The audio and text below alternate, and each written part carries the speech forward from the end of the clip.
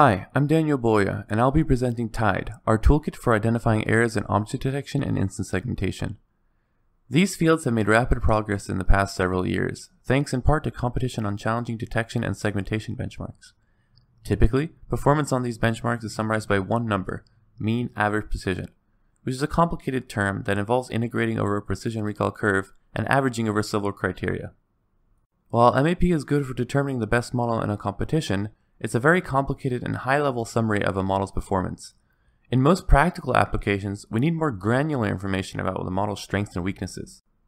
For instance, for self-driving cars, we really care mostly about the existence of a pedestrian on the road, and a coarse localization is acceptable. What we don't want to happen is that a pedestrian gets missed by the detector or classified as the road. So in this situation, we care more about the recall and correct classification than we do about precise localization. Other applications have a different set of concerns, and just by looking at MAP, there's no way to assess how a model performs over these aspects. What we want is a compact summary of the errors in our model in order to determine its strengths and weaknesses. There's a reason our model didn't get 100% MAP, and there are several types of error that account for that gap. With TIDE, our general toolkit for identifying detection and segmentation errors, we break down the missing MAP into six error types that fully explain where the model is losing performance.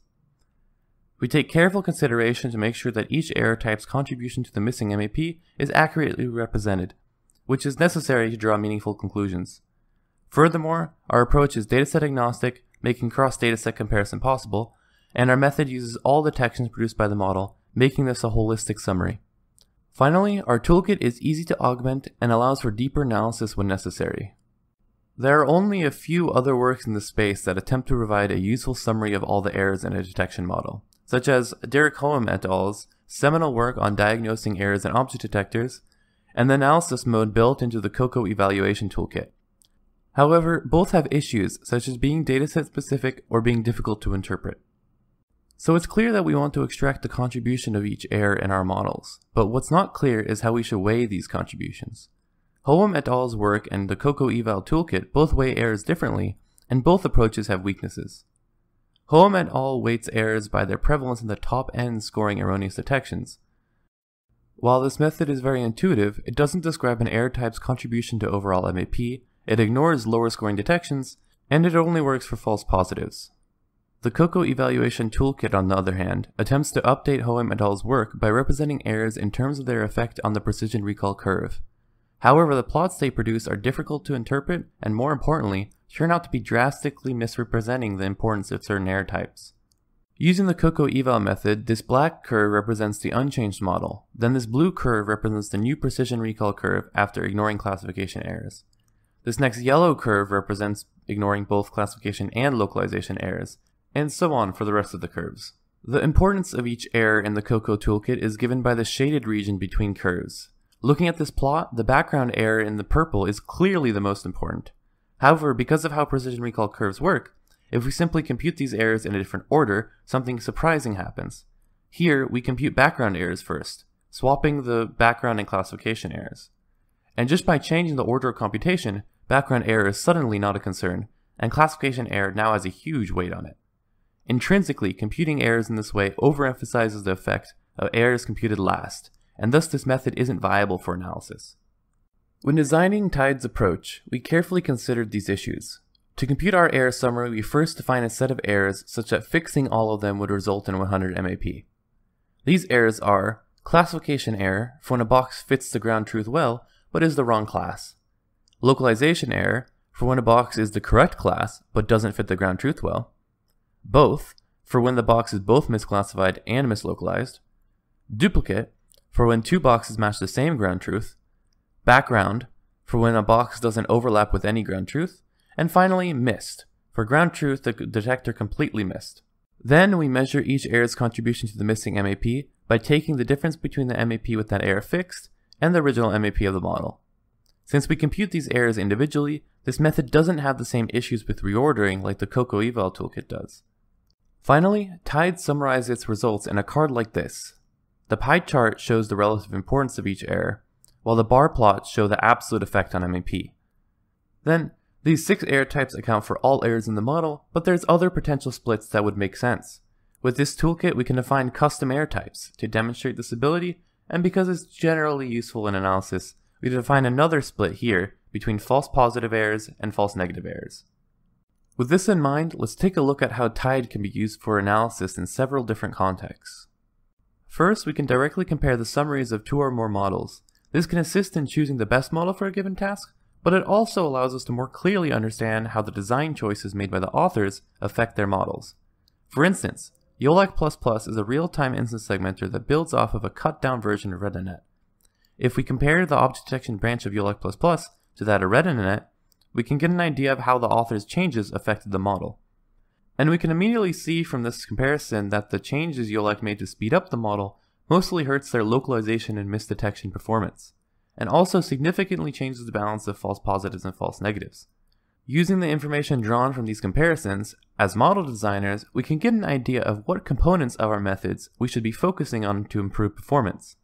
Moreover, we can use these quantitative metrics to back up our intuitions when explaining design choices and when backing up conclusions drawn from qualitative observation.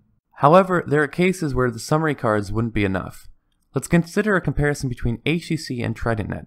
Both models have remarkably similar error profiles, so to understand the difference between the two, we'll need to delve deeper. To do this, we'll take a look at performance across different scales, since TridentNet focuses specifically on scale invariance. With TIDE, we can compute our errors across different object attributes by simply limiting the errors we fix to those with the specified attribute. Here's the localization error of HTC and TridentNet across different scales of boxes, with MaskRCNN for reference. We can see from this finer analysis that while HTC and TridentNet have the same localization error overall, it's really that TridentNet has less error on medium objects and HTC has less error on large objects. These two differences end up canceling out, but if you're someone looking to detect medium objects, you would use this information to choose TridentNet over HCC. TIDE supports any user-defined attribute for this kind of analysis. Then, since TIDE is dataset agnostic, we can use it to discover properties of datasets themselves. To do this, we can fix an architecture and then compare that architecture's performance across different datasets. For instance, let's compare MaskRCNN's performance on Coco versus LVIS which is a version of Coco that attempts to annotate every class of object. Intuitive reasoning would suggest that LVIS would induce a lot of classification errors, since it has over a thousand classes compared to Coco's 80. However, we can see that this really isn't the case in practice.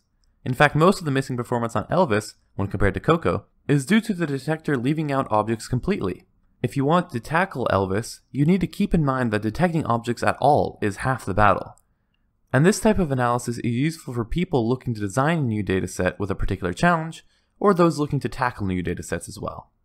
Finally, the TIDE metrics can be used to explain MAP changes in ablation studies. Let's say we found that our model's confidence wasn't calibrated well with the quality of its localizations, so we wanted to add a branch that rescores the localizations based on quality. We've implemented the module, but our MAP only increases from 58.1 to 58.3. Did our module do anything significant? If we take a look at the TIDE error distribution before and after the model instead of just MAP, we can see that the localization error went down significantly as we had hoped. But all these other error types went up, which balanced out the MAP in the end. Without this extra justification from TIDE, we wouldn't have known that our method actually worked. And since TIDE can be compactly represented as just a bunch of numbers, this kind of analysis fits neatly into ablation tables.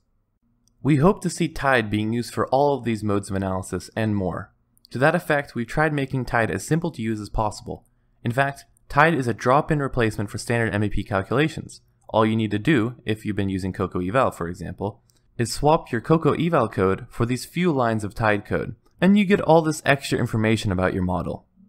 And since it's been a problem for previous toolkits, we've also tried to make the code as clear as possible. Moreover, our toolbox is extensible. You can define your own errors, your own datasets, and your own custom modes of analysis. TIDE is available here, and we've opened up to the community for future development. We hope TIDE can become the basis for future analysis in object detection and instance segmentation. Thank you for listening to my talk.